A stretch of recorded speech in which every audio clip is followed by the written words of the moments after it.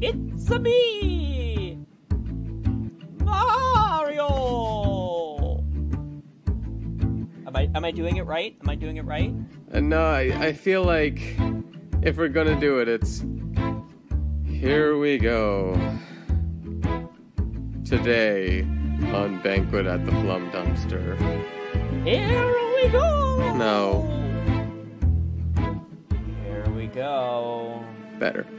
How drab, how dull critique can be. It's begging and pleading for apathy. The good, the bad, the in between. And nothing is everyone's cup of tea. No time to waste, there's things to do. Jared and Eric are happy too. They'll suffer the worst of films for you. So enter the strangest of banquet rooms.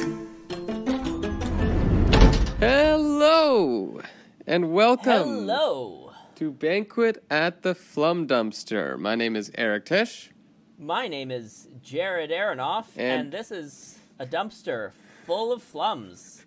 Yes, and the one in particular today that we are feasting upon is one that we've wanted to watch for a very long time. A very long time. We've been meaning to watch this for I don't even know how long, and I cannot wait. I think that there was there was one time where we were like, "Oh, we've got like we've got time for like an hour and 40 minute movie exactly." And then it was like, "Oh, how much is this?" It's like an hour 44. And you're like, "Uh, no, I guess not. Ah. I guess we'll just watch a David Dakota movie." oh no, David Dakota. Uh, we need to do a full episode on David Dakota one day, but that's beside the point. Because today we're watching Super Mario Brothers. From 1993, a movie as old as I am, um, Older than me. older than you. I am so excited. I I quite en- I quite enjoy uh, Super Mario Brothers games. I don't know about you. Yeah, like I mean, if I have to pick one, it's Mario Kart. Any any of the Mario Karts, like mostly Double Dash, like uh, the one on the Switch too. The the one on the Switch is a good one. Yeah. I'm a big fan of of the the 3D like open world platformers like the Sunshine or the Odyssey. Mm. Oh, I did play Super Mario Sunshine. Yeah, that yeah. that anything that was on the GameCube, that was Yeah, my the- system growing up. Yeah, The GameCube that was also my system growing up. yeah. Uh, Mario I recently all of the oh. Mario parties. all of the Mario parties. Yeah. Um How to lose friends in 60 lose- minutes or less.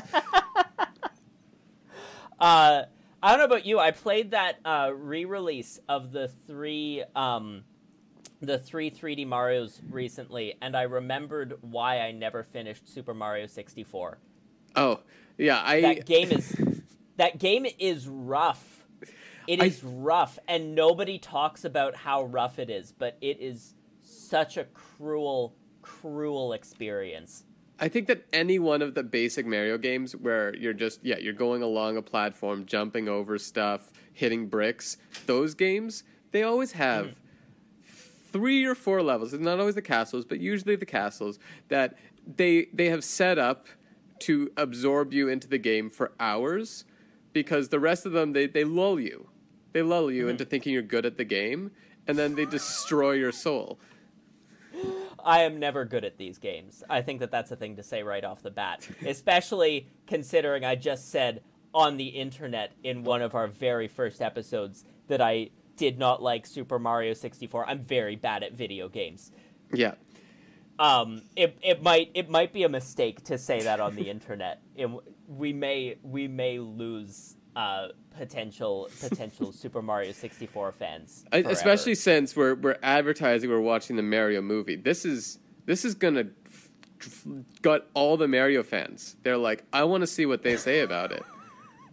Um, that sounds a little optimistic, Eric. All the Mario fans across the world.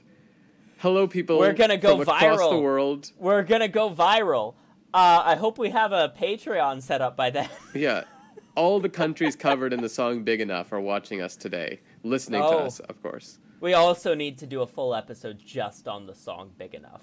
but we're uh, we're getting off topic. Um, We'd often do that.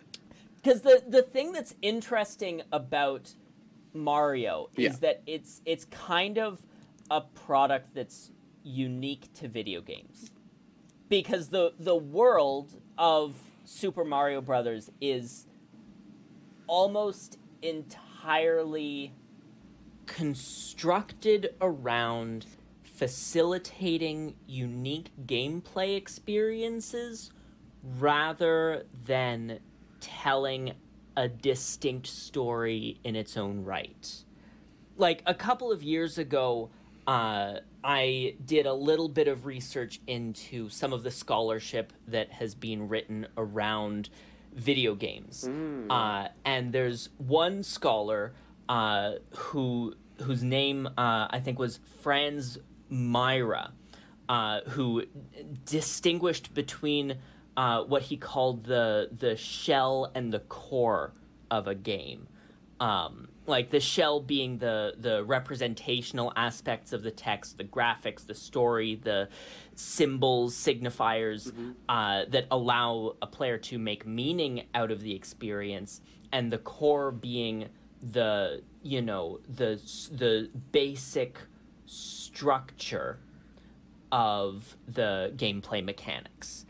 Um, Yeah, yeah, yeah, yeah, yeah. and so if you start asking questions like, why is Mario a plumber? Why is the villain a giant turtle?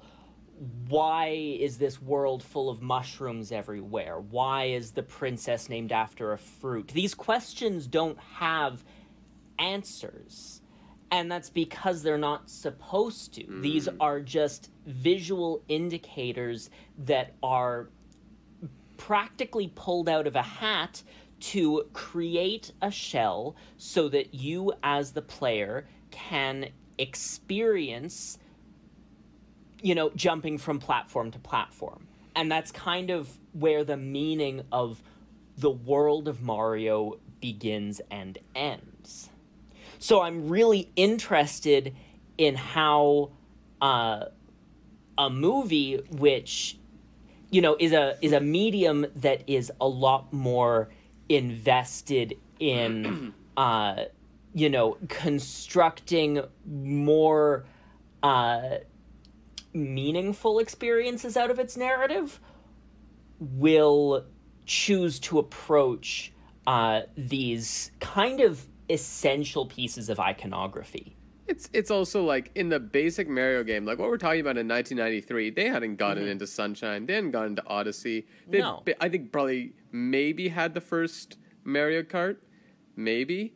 maybe i don't have a strong conception of mario history off the top of But my head this was just when he was going out and like fighting Donkey Kong. I think. Like, No, th- I think this would have been a little bit after that. This would have been like. are we gonna get? uh, are we gonna get somebody in a terrible Bowser costume? That's oh, my absolutely, big question. absolutely. Oh, I Um, so.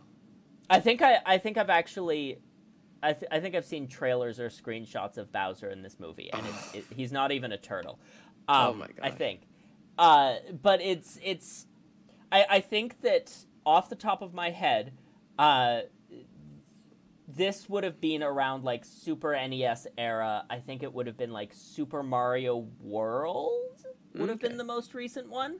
I'm, uh, excuse me while I Google this actually.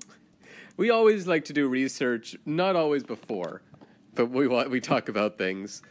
Um, So Super Mario World was 1990, so that would have been three years before this. okay, yeah, yeah. It had any Mario Karts come out yet? Can we expect a, uh, you know, all all of the characters in Mario Kart or all the characters in the Mario world put aside their differences and just race around a track, throwing Uh, stuff Super at each Mario other? Kart. Super Mario Kart was 1992. Okay, So that yeah. could have. That's that's In that's production. in the in in yeah. It, it's like just within the threshold of like they could reference it. yeah. but they probably won't and mario kart probably was not the like the the main association that people had with mario No. at that time And and let's also just just look at the fact that this was in 1993. Mario has evolved in every sort of way since then. We've had all these other properties. We've had Smash Bros. has come out. All like Luigi's had his own side hustle, getting mansions. No more movies after this one. There is actually one in development. Uh, yeah, but this is this is like in our lifetime there has Yeah. not been another one. I think that speaks to how much of a failure this this must I- be. I that that is what makes me excited. Yeah. Uh, and this this did, for the record, I also just googled this. This did come out after the Super Mario Bros. TV show. Oh. Uh, that was in the um,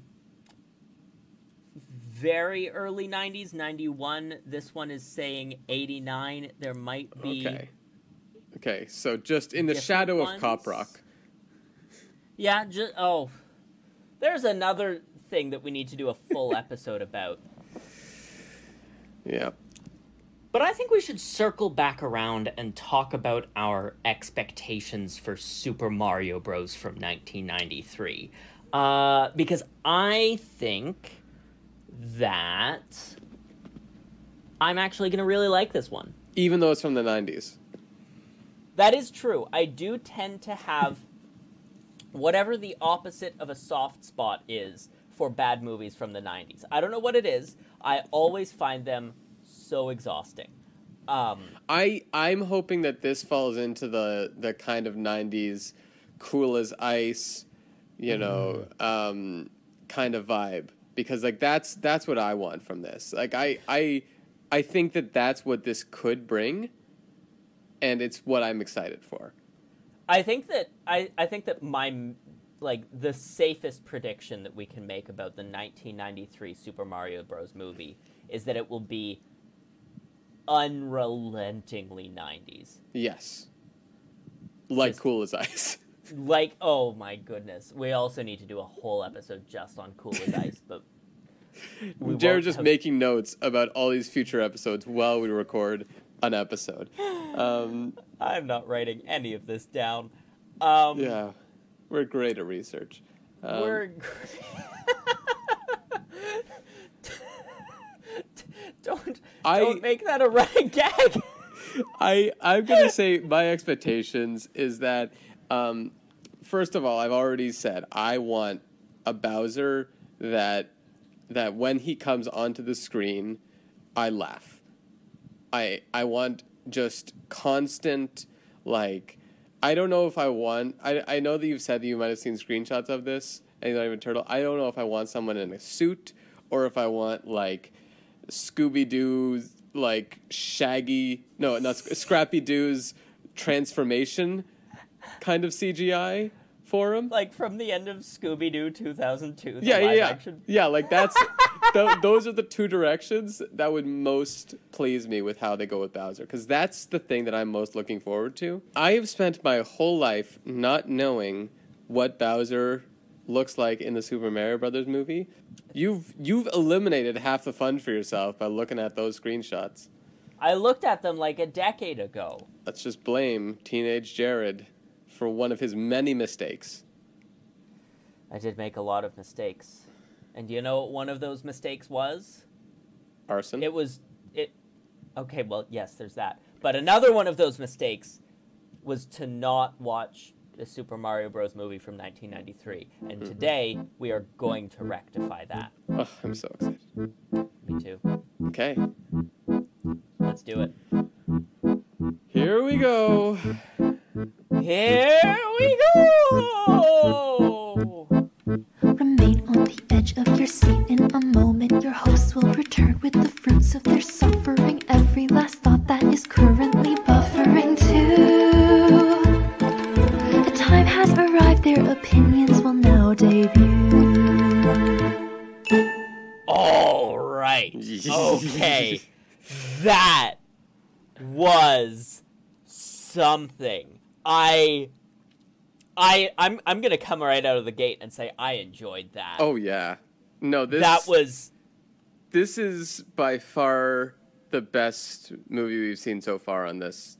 Like since That we've been doing the podcast at least. since since we've been recording episodes of this podcast, uh, I don't know what order we'll release them in, but for as long as we've been recording episodes of this podcast, I this is this one I am oh oh my Yeah. oh my Yeah. oh my um This is one of the best worst movies I think I've ever seen. I wouldn't go that far. Oh, I think I would. I this was this was a lot of fun. Uh, I think I think we need to do something a little bit different with this episode because we enjoyed this Yeah. uh, this film so much. I think that what we need to do is we need to have at least a section of where we're not spoiling it for our viewers. Yeah, well, we, yeah, yeah. I think we'll do a first section where we're not going to spoil it because we need you to watch this and be like, if you haven't seen this and you want to Uh-huh. get the full experience, g- like, y- hit go watch it, please. Yeah. Uh, Don't like take our word for it. It is an experience. Yeah. Um it is a bizarrely surreal experience. Yeah. It, it is incredibly odd. Uh can we can we dive right in and talk about how uh this is not a Mario movie and nobody involved in making this movie Even played a wants to be Mario ma- game. no, Like- they they they they not only have they like they don't like anyone involved in making this movie does not want to be making a Mario movie, and that is evident. Yeah. And like you say, none of them have probably even played a Mario game. I Um, I'm not even convinced that they wanted to make a kids movie. Like no, I don't think. I think that what happened here was somebody in the studio said, "Okay, we're making a kids movie," and the director was like, "I am making art. Thank you very much." Well, somebody somebody commissioned this as a Mario movie, and whoever the director is, we should look them up. Yeah. But whoever the director is went, okay, I'll make this movie that you want me to make, but what's a Mario? yes. And then decided, I don't actually need to know what a Mario is. Yeah, I was like, "Wait, So- wait, what's a Mario?" Actually, don't tell me. Don't tell me. I'm gonna figure that out for myself. The this it it takes on this really bizarre. I don't know what it is Be, because it treats all of the Super Mario isms as like checklist items to tick off, Yeah. and then just like does its own thing around that.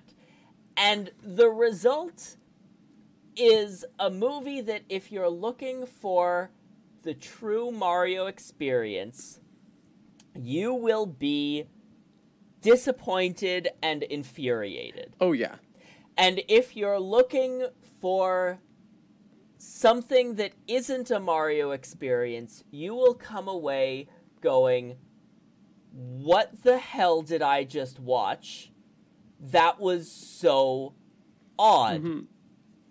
Yeah, I um I do want to. I did look up who the directors were, um, and there are two directors. Um, Two? two, two people. Like it's a partner like team, and um, they've never directed anything ever again.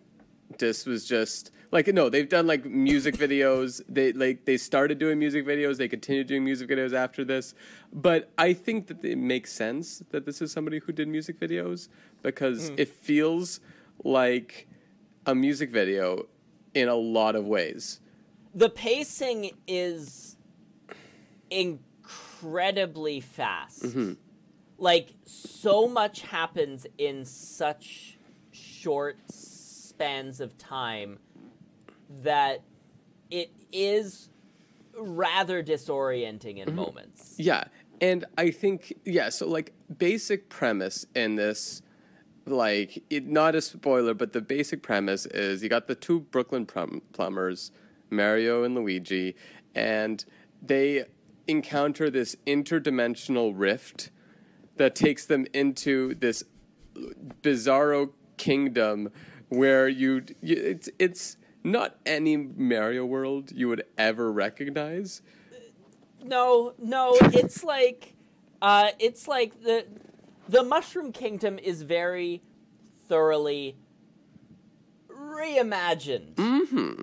Um and by reimagined I mean it's uh It's like Mad Mario Max. meets Mad Max. Yeah. yeah, it's like I I have I have written down it's like a Mad Max subway depot. like it's it, Yeah, and not, Uh, not to be clear, not like Mad Max Fury Road, more like Mad Max Beyond Thunderdome, yeah, like the steampunk '80s Mad Max. yeah, yeah, yeah. Um, it's it's incredible how It's- how much this is not a Mario movie. it's not. It's not a Mario movie. It's really. It's really not. Like I also want to just take a moment to appreciate the fact that for like 80% of the movie, Mario did like was not the hero. They just put it squarely on Luigi. They were like, Yeah. this is Luigi's movie." Yeah, this wasn't even. This wasn't even Mario's story. No. Mario was the the B character Yeah. in his own movie. Yeah. It, Well, no, like, it was it- Super Mario Bros. So they were Yeah. They it's just you expect you expect it to be Mario and not the guy who wanders terrified around a mansion screaming Mario. Like Okay, that was like a full ten years yeah, after no, but this, that's though. that's how Luigi is usually seen.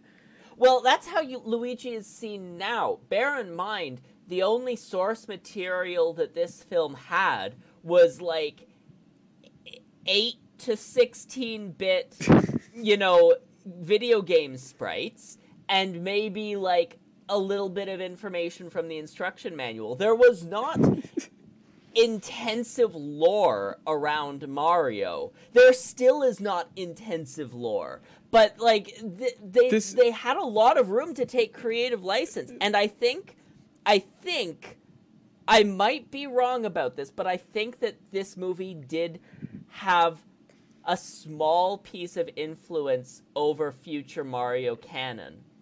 I think that this is the first time that the Mario brothers are referred to as Mario Mario and Luigi Mario, but I do not know if that is a fact. I don't either. I did notice that though, um, and thought it was like they played it like it was the first time that joke had ever been made.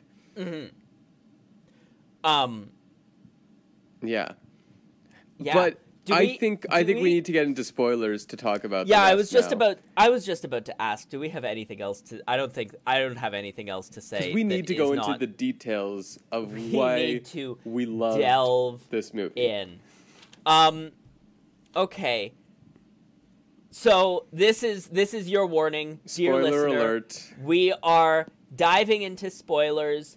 If you want to experience the Super Mario Bros. 1993 movie fresh, turn off this podcast now. Come back later. I will only be a little bit sad about it. Um, Okay, so first of all, first of all, I I need to talk about. I came into this wanting to see Bowser. I made that So very clear wanna- in the introduction. I wanted to see what they would do with Bowser. so you want to start off our At the very section end. by talking about the evil egg sucking son of a snake, Yes. King Koopa himself. Yeah. Um for for 95% of this movie, it's just Dennis Hopper camping it up in what was clearly a role that he knew he could take and just drink on set for. Um there's there's there, there was no sign of what we know as Bowser until like he gets hit with a de-evolution ray, which is which is it sounds Yeah, insane, but it's a running thing that there's just this bizarre like you you you have these human people who are apparently descended Humanoid. from humanoid people who are descended from dinosaurs in this mushroom kingdom and there's this technology to turn them back into dinosaurs. Well, to either up their evolution or down their evolution.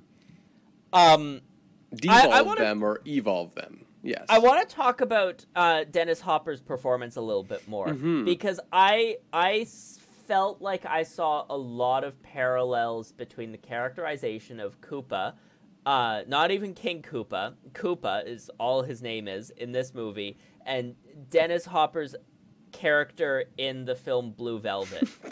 Which I'm pretty sure only came out a couple of years earlier, and I I I watched think it was that movie. and- 86. Yeah. yeah. Uh, so a couple more than a couple years earlier, and it it's a very disturbing character that he plays in Blue Velvet, and he plays almost the exact same character here in a kids movie. Air quotes around the words "kids movie." Yeah. Um, on on the opposite end of the spectrum, you have Koopa's wife, Lena, whoever that is. Uh, that's my favorite Super Mario Brothers character. Not Slime Lena. Bucket. Oh, Slime Bucket is my other favorite Super Mario Brothers character. I feel seen as a Mario fan, knowing that the Super Mario Brothers 1993 movie incorporated such undervalued characters as Slime Bucket, as Lena, Bowser's wife, and Big Bertha. Yep. But but Lena was of course played by Fiona Shaw, who somebody then looked at this performance and said, "Y- y- "I'm making a Harry Potter movie, and I want you to play the evil aunt, Petunia." And I have to assume that the casting director of Killing Eve, when casting Carolyn, was thinking the same thing. Not not not not her performances in Harry Potter or anything in between. That casting director saw saw what she did in Super Mario Brothers and said, "Yes, you are my Carolyn." Um, And I I, I believe that's that's that is true in my heart. Here at Banquet at the Flum Dumpster, we find humor by combing through the IMDb pages of the actors in our movies. Oh, I didn't need I to. also think- I'm a big fan of Fiona Shaw. I think that this I- is one of her best performances.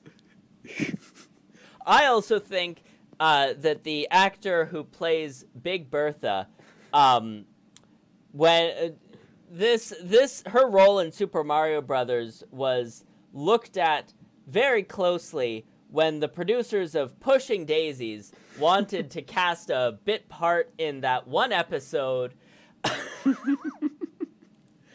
um, Yeah. I, I, what else can we say about the ways that this film uses the Mario existing universe as like a bucket list to be ticked off? Okay, because Toad, to Toad at- makes a cameo. Toad makes a cameo as a as a guitar playing hipster who is immediately arrested because guitars are illegal in the Mushroom Kingdom. They they Um, did. I, I I wanted this in in the introduction, and they did have a Mario Kart scene.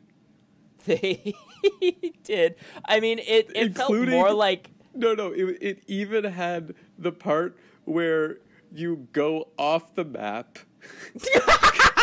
you try to take a shortcut, and you're like, "This was probably a shortcut," and then it's not, and then Lakitu has to re- like rescue you. they basically had that scene, just minus the like the cloud showing up and fishing you out of the water or whatever you're going into. and it was also uh, shot nothing like a Mario Kart session and was instead framed like an action scene from Mad Max. Yes. It was still a Mario Kart scene, and I'm sticking by that. Um, I mean, it was a Mario Kart scene in the sense that it had Mario in a car. and I think that anything after that is No, a bit of a stretch. It's al- and it also had somebody shooting fireballs to try to stop him. It had more Mario Kart elements than you're giving it credit for. I think that you're giving it more credit than it deserves, though, because I don't think that the Mario Kart game from what did we decide it was like 91, 92? Yeah, yeah, it I- came out just before, and then Nintendo I don't think that might it have said, f- "Hey, we we know you're making this movie. Put in this scene."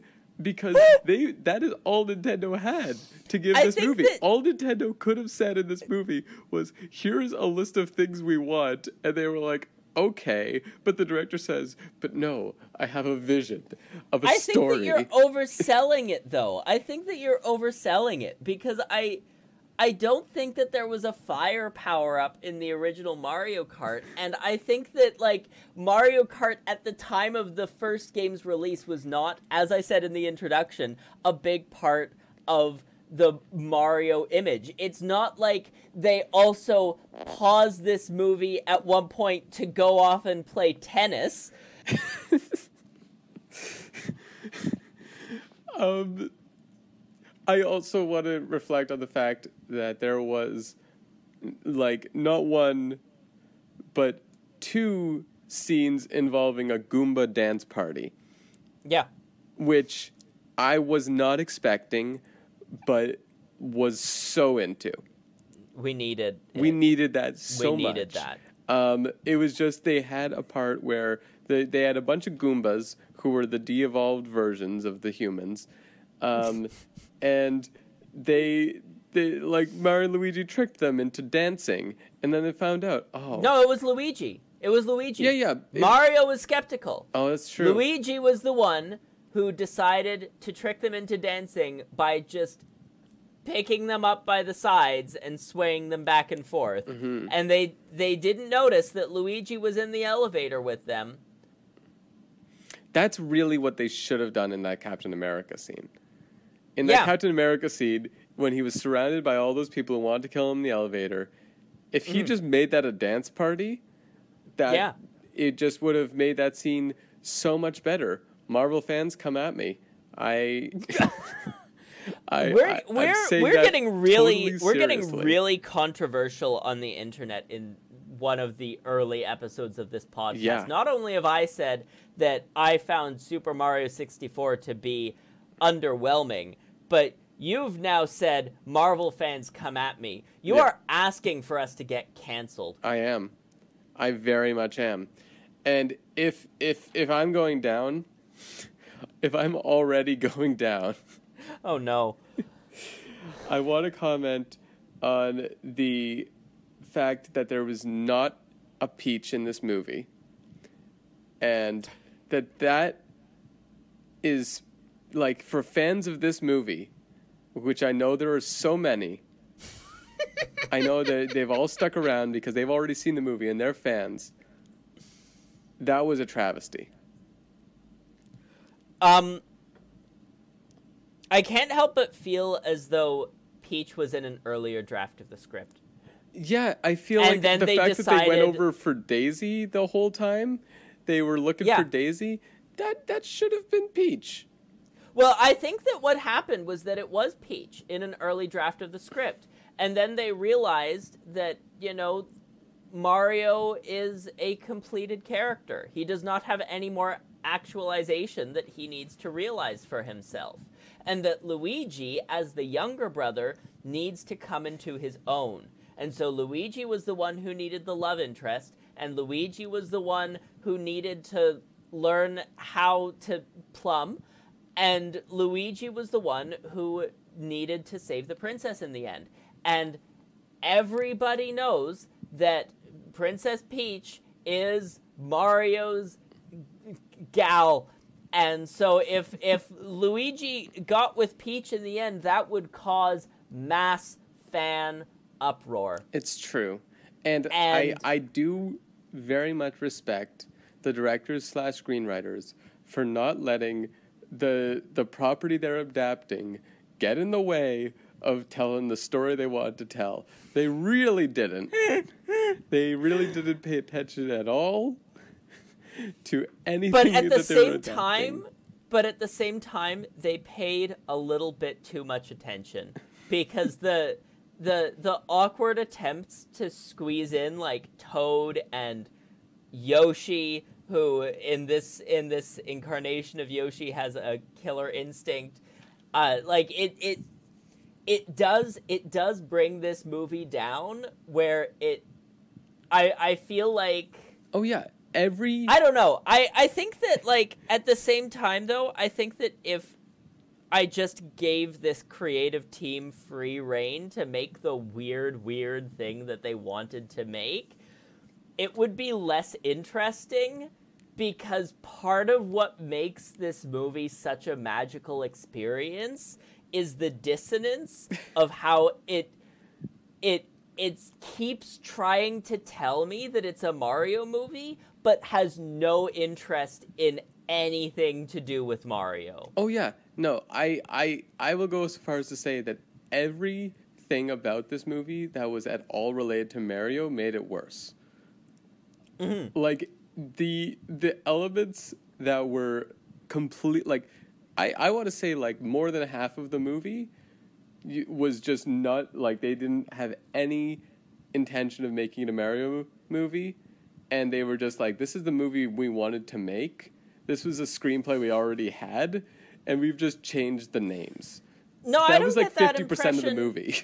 I don't get that impression at all. Really? I, I think I think that this was a movie that was built from the ground up to be a Mario movie Oh, and just think so. existed at a point in time when, you know, the the gritty, edgy, uh, grimy aesthetic was what was cool.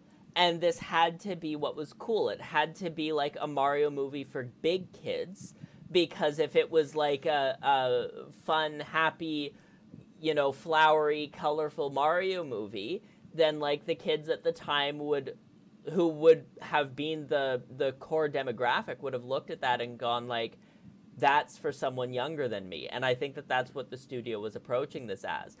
Um, i think that this was built from the ground up to be a mario movie. I just think that nobody involved with it had any interest in making a mario movie. But i do want to ask you eric following up from that last comment that you made would you want to watch a version of this movie that had the skin of Mario and his friends and Princess Daisy and Toad and Yoshi and Koopa and etc. Would you want to watch a version of this movie with that skin removed and replaced with something different? No, I think it would have been a f- like very forgettable '90s movie, but I mm-hmm. feel like that's what they wanted to make, and instead we get this masterpiece. But I do think that like it's the it's the dissonance that you mentioned that is what makes it not work in the right Yeah. way. And it's Yeah. I, what, what you're saying about it being like the right kind of kids movie. I think that a lot of the inspiration has to have come from like the I think all three Teenage Mutant Ninja Turtle movies had just been released before this movie was made, and I can see a lot of influence in that. That's interesting. Like That I, it uh, that is not impossible. it is very much in line with the tone and like just generally how they approach adapting something to for early 90s kids and i think that a lot of what didn't work about the teenage mutant ninja turtles movies also didn't work here but in the right way. Uh, including the random dance sequences. You can never go wrong with a you can't dance you sequence. no like I, I i also think that the very best use of the mario canon um there's one scene where well it's it's foreshadowed a bunch where he has a little wind up bomb yes. No, the the, the Bob-omb. fungus, the sentient fungus, Yes. produces a Bob-omb Yeah. several times, and then eventually Mario picks it up. Yeah. And when he finally does it, everybody in the entire Mushroom Kingdom is scared of the bomb. They know what it is, and Mario just winds it, and it does a little journey, and eventually saves the day. But After like twenty minutes, after like 20 minutes, and it is, it's just seeing the part where he very dramatically winds up this clearly toy bomb. Like it's, I, I, I want people to know that it is not like in the regular Mario games where it's like nearly the size of Mario. It's like the size of his fingers. Like he's just winding up this tiny bomb. He puts it on the ground, and it just takes a few steps, and then just falls into the, the this grate. And you think, okay, that's it for the bomb. But then you see it do its little journey, Keeps and it's walking. just the the most delightful thing about this whole movie. Ah, that was a truly delightful scene. Yeah, yeah. The bomb scene is so long and drawn out that I feel like it was genuinely meant to be suspenseful. Like, I feel like they were actually trying to make you care about what was going to happen to the bomb.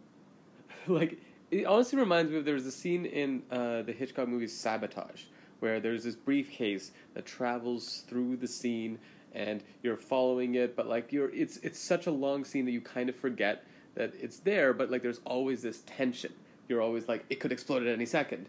Uh, this was like that, but without that like it, it could go off at any time feeling. It's like you're you're feeling like, is this bomb actually important? Like even if it blows up, will anything happen? And it was important. And something did happen. And speaking of time, I think we are appearing to run out of it. Oh, we are. Uh, so I will ask you, Eric, what do you think we have learned today? I think that we have learned to trust the fungus. Always. Always, Always trust, trust the, fungus, the fungus. as Luigi says. That's the lesson from today. Always trust the fungus. Well, that was uh, Super Mario Brothers from 1993. I have been Jared Aronoff. If you would like to find me on Twitter, you can find me on Twitter at Jared Aronoff. I don't tweet very often, but you you could you could try. I have been Eric Tish. If you want to find me and you're a Marvel fan, I will be tearing up the track on Mario Kart. and you can find me there. Uh, yeah. Uh, you may have heard our theme song, our glorious, glorious theme song composed by Tarquin Alexandra. Uh, you can find her on Twitter at Tarq Alexandra. That's T A R Q Alexandra. She is much more active on Twitter, so you might have a better chance with her. Uh, you can also stream her latest EP, A Tyrant's Demise, on Spotify, Apple, or your music platform of choice.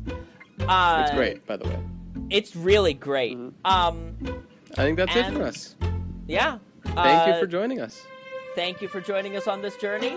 Uh, and to all of you, I hope you boat. If the concept were to exist that I'm to explain, which it doesn't, in hypothetical terms, every form of art has a bucket, a container to categorize the format and style, the greats and the rotten. The podcast that you've just consumed did the work for you by scraping the bottom